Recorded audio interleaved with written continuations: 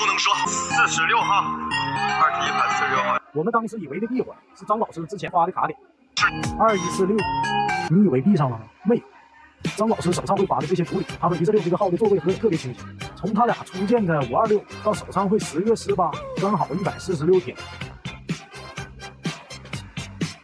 而且从初见五月二十六到今年的十月十八，你猜怎么着？刚好是五百一十一天。别急，还没完。从五月二十六一出见到后年六月二十八日，刚好是顺子生于十一月二十九。我们来看看这个二零二三年六月二十八日。哎，他刚好是公历的五幺幺，而顺子的生日一九九二年十一月二十九日，刚好又是当年十一月的第五个工作日。我们来看手上会的两条同一天发的，都编辑过两次。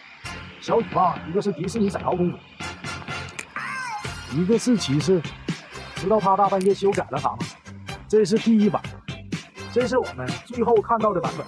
张老师，我不理解，你大晚上编辑是为了加“捕捉”两个字。我遇见我的俊朗骑士。顺朗骑士捕捉彩桃公主，张老师值得唱的歌，知道为啥说是骑士性歌词吗？我们两个许着愿聊一整夜。俊子去年十二月二十三日发的天文台照片，是两个男生的眼睛。抖音。